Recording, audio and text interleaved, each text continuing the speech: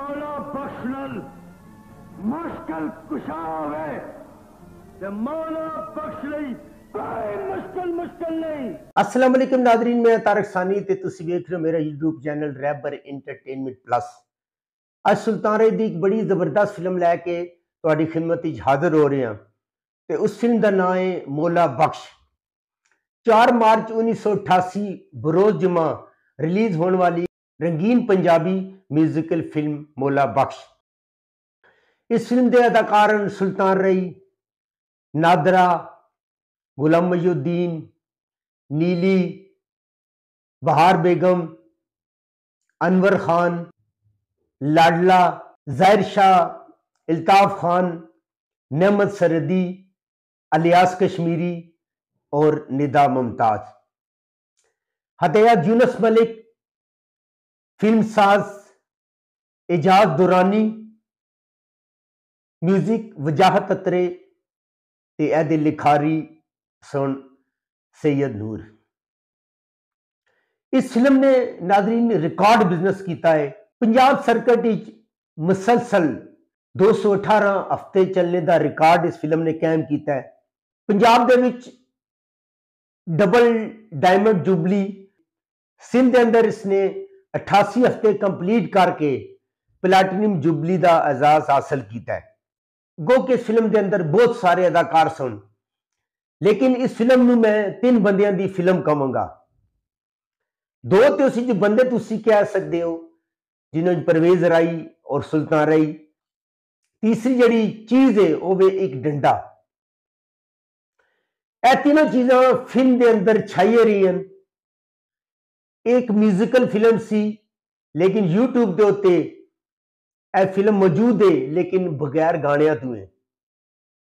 اس film دے گانے تو YouTube تے نہیں ملن گے۔ فلم پوری تو مل جائے گی تو اسی اتھے جا کے ویک سکتے ہو۔ اس فلم دے اندر سلطان رئی نے مولا بخش دا مرکزی کردار ادا کیتا ہے۔ غلام الدین نے ڈی ایس پی تارک دا رول ادا کیتا ہے جڑا کہ مولا بخش دا بھرا ہوندا ہے۔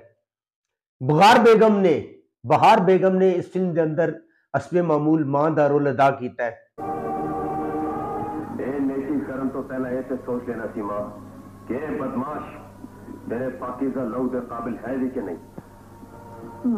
انور خان نے بھی بڑا ہی اچھا رول کیتا ہے اور انور خان دے نال جڑے سن ظاہر شاہ خاور عباس اچھا جی الطاف خان راشد خان عمر دراز خلیل انہاں سارے نے بڑا ہی بہترین کام کیتا ہے ویلن پارٹی اور پہلے جڑا پورشن ہے تقریباً چھتیس منٹ یا چالیس منٹ دا، اس دے اندر پرویز رائی نے شاندار ڈیلاگ ڈیلیوری دا مظاہرہ کیتا ہے۔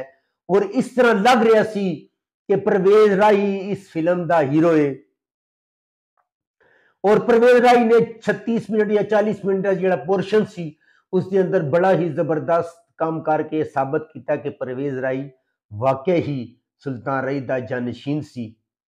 اور اگر پرویز رائی زندہ ہوندا اج دے وقت دا سلطان رائی ہوندا۔ بڑا ہی زبردست اس نے کام کیتا ہے۔ نیلی اور نادرہ نے فلم دے اندر روٹین دا کام کیتا ہے۔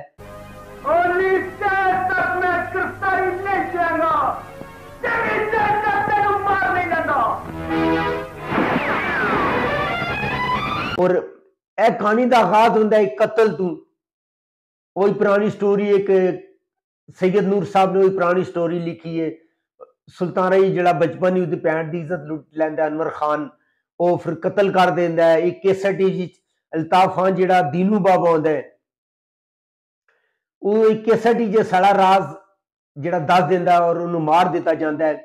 او کیسٹ بخشو دے کول ہوندی ہے، بخشو سلطان رائی بخشو وہ کیسٹ کسی جگہ چھپا دینا ہے دشمن اس کو کیسٹ کسی طرح حاصل کر لیندے عدالت کے اندر بخشو سلطانی تے جن ثابت ہو جاندہ ہے اور اس نے چودہ سال قید بمشقت ہو جاندی ہے بخشو تو تو جیل جاندہ ہے جیل جان تو پہلے ایک بزرگ آندے جڑے انہوں ایک ڈنڈا دے جاندے جڑا جیل جان تو پہلے اپنے دوست کے حوالے بخشو کر جاندہ ہے جیل تو رہائی تے بعد اسب معمول فلم اسی طرح چل دی ہے۔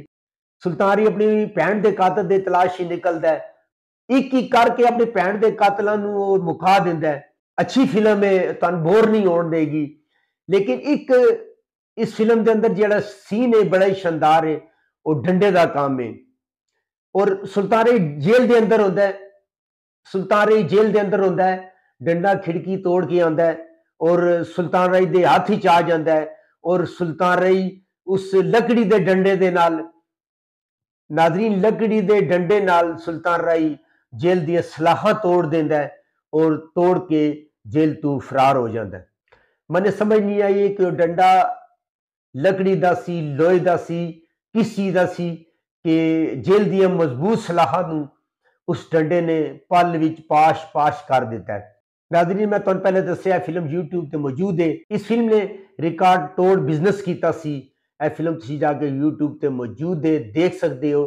گو کہ اس فلم دے گانے نہیں ہیں یوٹیوب تے، لیکن یہ فلم یوٹیوب تے پہ ہی ہوئی ہے۔ اگر تانوں میری معلومات اچھی لگی ہوئے، میرے چینل نو لائک کرو، سبسکرائب کرو تے شیئر کرو۔ تے نیکسٹ ویڈیو تک رب رکھ۔